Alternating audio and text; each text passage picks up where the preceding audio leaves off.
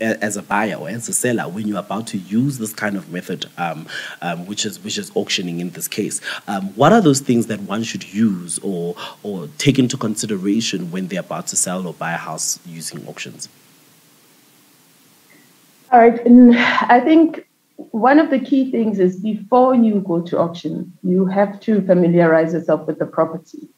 I mean, it can be from pictures, visiting the property before um, the auction starts, so that you understand what it what you're putting yourself into and what it is that you're buying.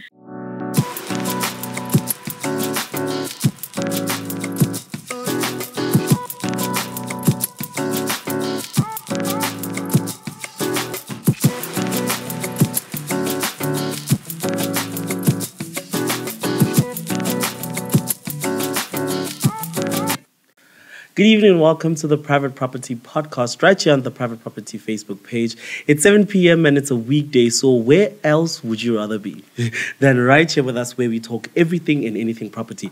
If you are seeing my face for the first time, my name is Dumi and I am your host. Welcome to a place where we are going to educate you on how to take those bold property steps so that you can grow your property portfolio where you buy, you sell, you invest, where you do all of these things in this industry. We want to make sure that you are armed with the right information for you to be able to do that. So if you are joining us on Facebook, hoy us that green heart and tell us that you are here. Mark the register.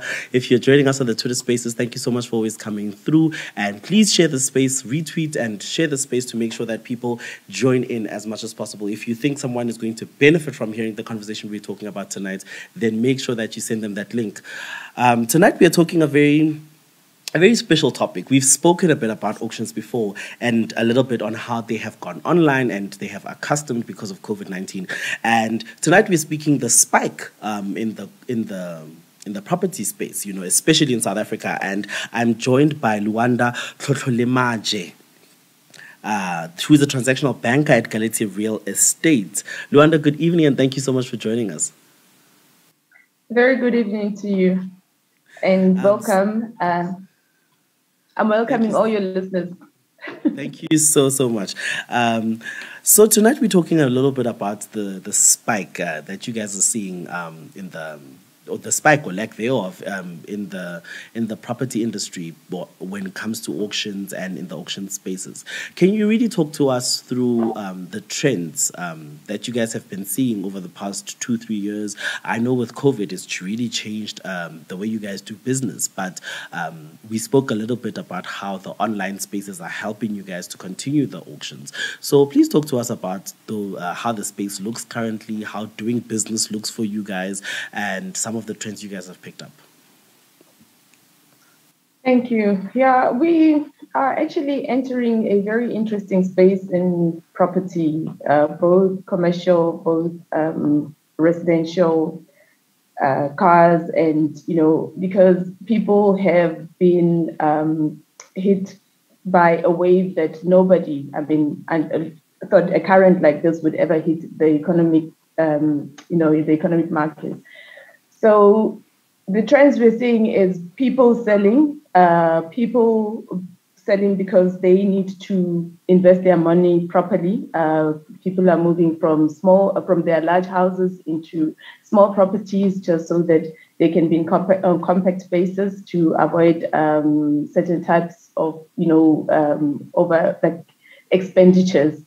And um, in the space of commercial properties, obviously, because the 2020 came, you know, to us all as a surprise, and many offices are left um, without any uh, employees inside. But these days, we realize that it's important for other companies to um, invite. I mean, like today, I know that, for instance, Salgar decided to open their offices back again and they're back in business. And there was a welcome speech from their CEO today um, wanting the whole staff to start the interaction with um, with the markets again, which I feel like it's very interesting because South Africans are not um, um indoor type of uh, people. We are more outdoors. We like to touch our clients. We want to go out and see what's going on, meet your client to find out if they're struggling with anything. So if you are only virtual and there's no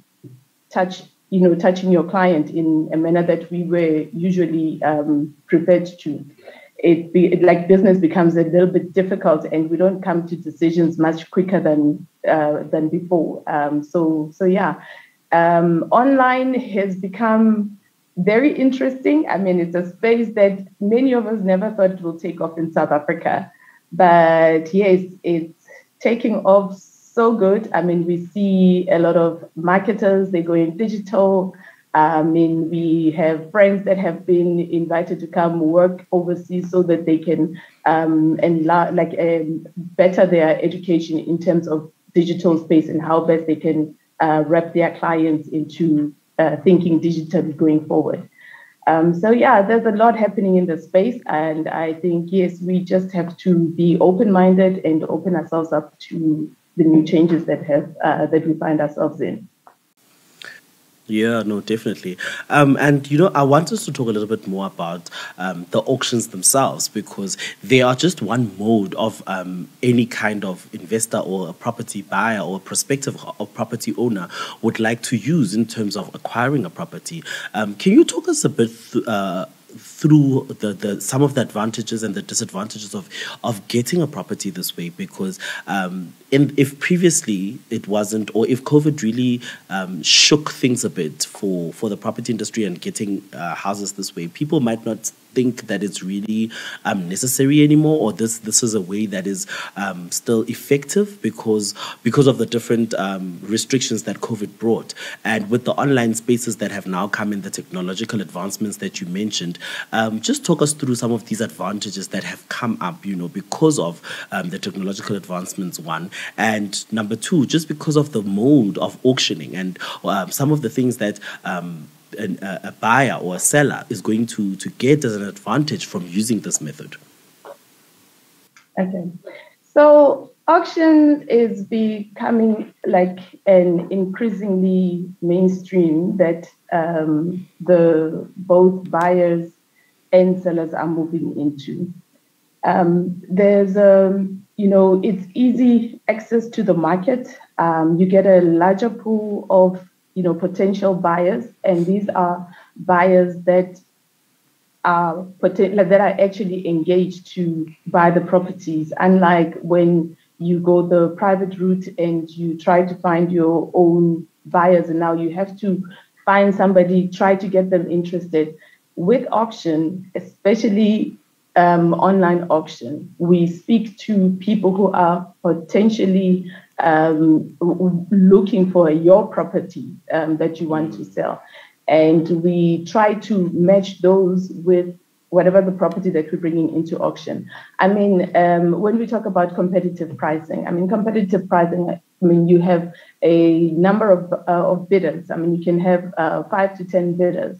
So you can just imagine whatever the reserve price um, you thought you had in mind and maybe might not be able to reach the required price, you almost you you get surprised at how best some of those competitive bidding can actually enhance the pricing of your of, of, of your property. Yeah, no, definitely. And um, has any of the technological advancements changed the way um, the business is done fundamentally? Like uh, in in one of our previous episodes, we spoke about how it, that the turnaround time is quicker. Um, what are some of the other advantages that you guys have seen um, in terms of get, closing that sale? So most of the bidders they come pre-qualified from um, their banks. Um, some of them will tell you, I have cash, I don't even need to get pre qualified by any bank.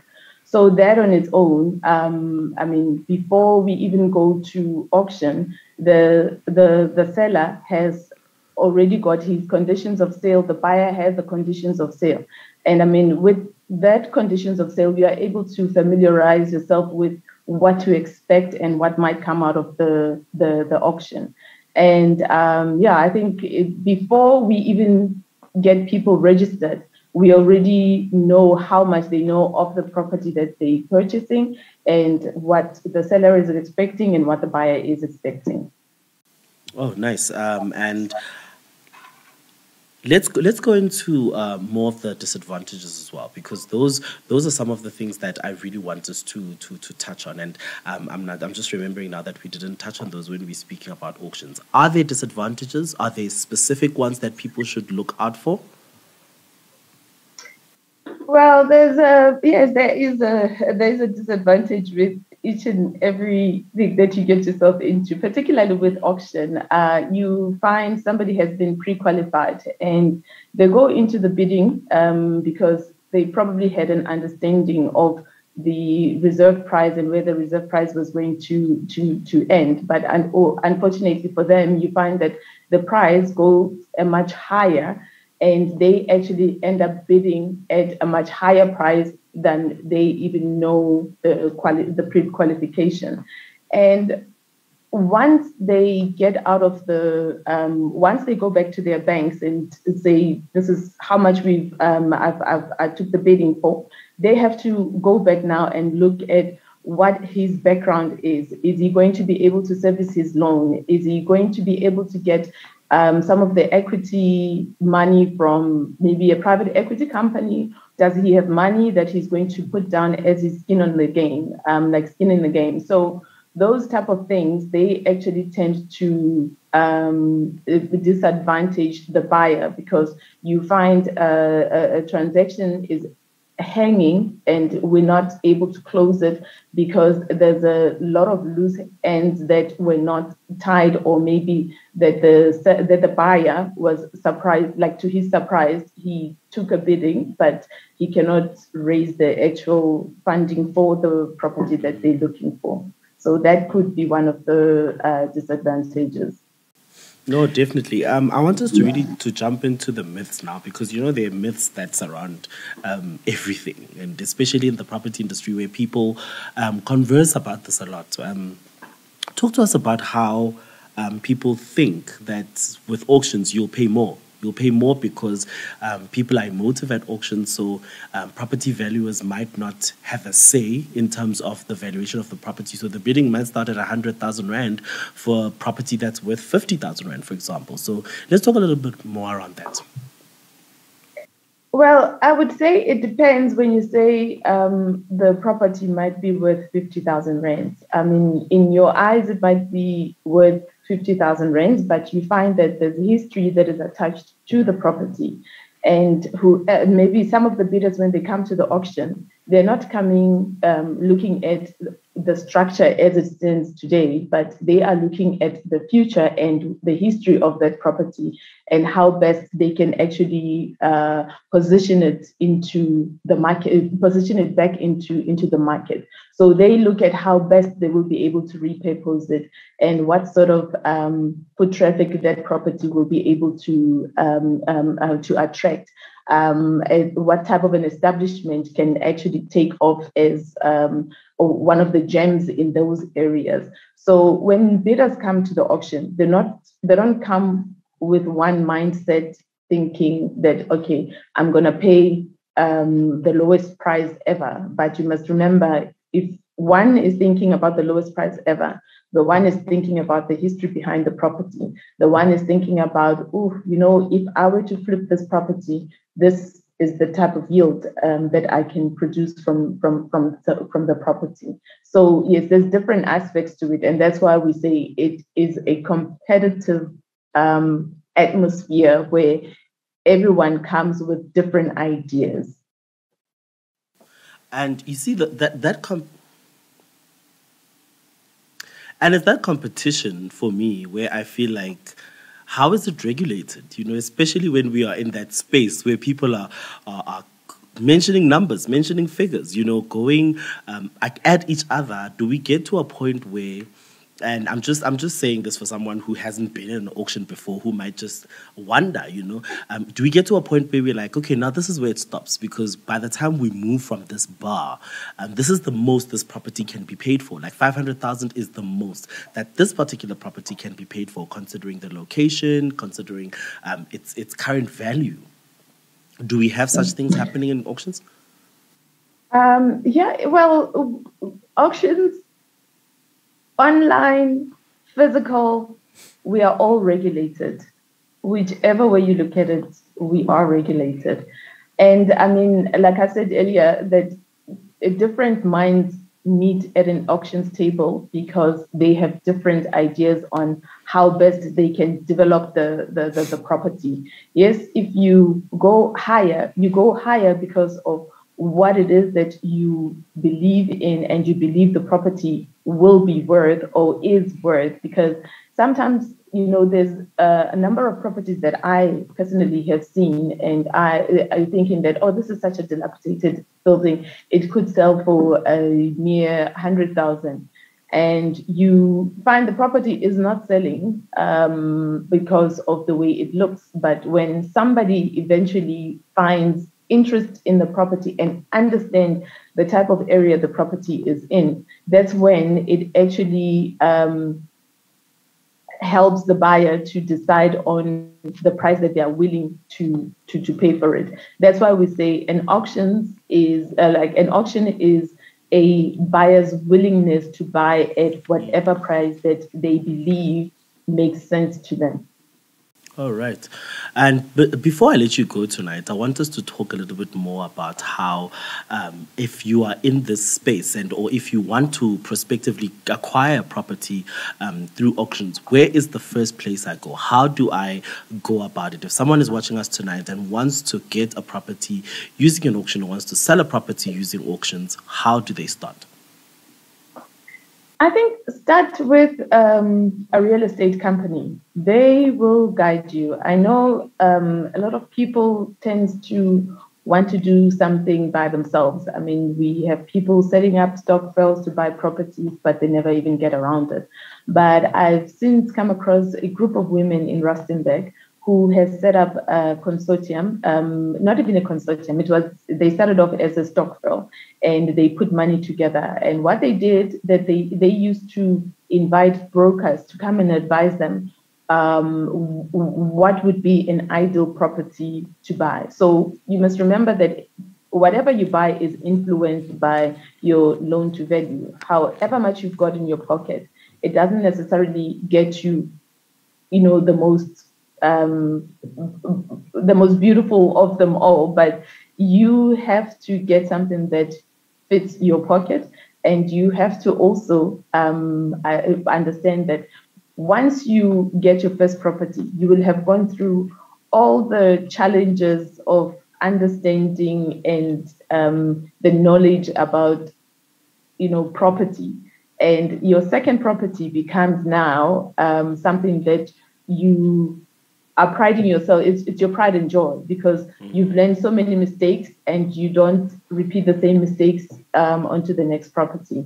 But make sure that you are very good friends with your banker as well because we are scared to speak to the bank. Speak to the bank, find out, okay, if my stokvel has put together so much money, um, uh, how much can you lend us so that we are able to buy this property? You have um, individual investors as well who partner with um, your um, development companies. You find them buying certain types of properties so that they can refurbish them and go forward. But you find that they have a certain percentage um, that they, they, they, they, they have to pay, um, they have to bring in as their skin in the, skin in the game. So it, um, it is something that you have to invest in yourself as well to understand what are the market trends? Where's the market headed to? Is it worth my while to buy a property in this industry or that industry? I mean, for instance, when you go back to 2020, hmm. one of the sectors that wasn't as affected was the industrial sector, and which uh, seems to be, and I mean, it's proven itself to be the most critical for people to start investing in because you will never go wrong. You still need to store food. I mean, there's large companies that are looking for storage. There's large companies that are still looking for um, properties like that for their logistics. So you need to know, okay, do I start with a property that I'm going to be paying municipal rates and all of that from my own pocket?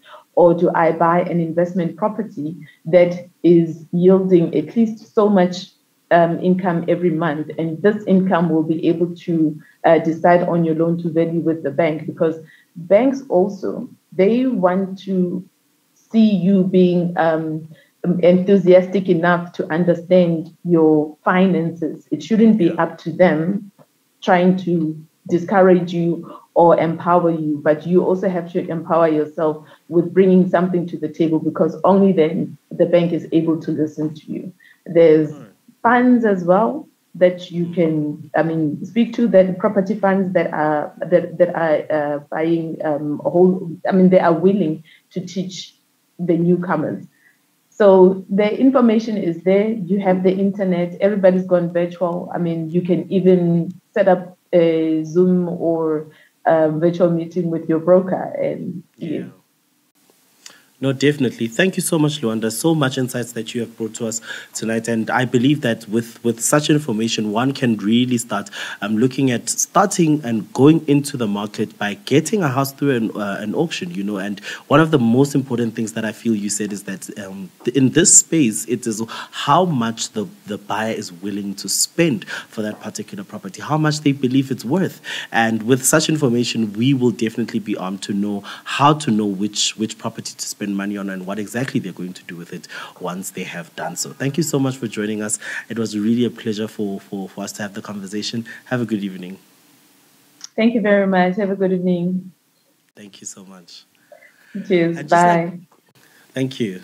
And just like that, we reached the end of our conversation tonight where we were talking auctions and their spike in South Africa and what really buyers and sellers need to know. And if you are a prospective buyer or seller, this is how you will probably start to get into um, the, the property space. And this is a way you could pro- grow your property portfolio, you know, whether it's a bank repo, whether it's, a, it's one of those. Um, one of those properties that has, has been liquidated this it could be a, such a great way for you to start that, that property portfolio. Thank you so much for joining us tonight right here on the private property podcast. My name is Dumi WMJ and thank you so much for joining us. Till we see you again next time every weekday 7 p.m right here on the private property page. Have a good one